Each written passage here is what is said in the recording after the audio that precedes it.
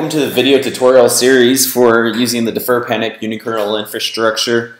Um, today, uh, you know, we were playing with a Node, uh, trying to get this Node BB uh, set up, and, and it works. Uh, you know, it talks with Redis. As you can see, we're running Redis as another unikernel over here.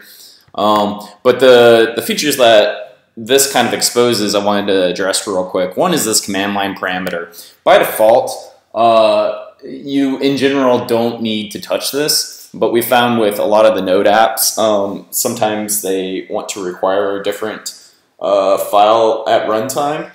And so, uh, so we've added the ability to edit this. Um, by default, it's like server.js, and this one was app.js. Uh, so that's that's one thing, and then you can also set environment variables if you need to. Um, we found that's another kind of thing that some people want to do.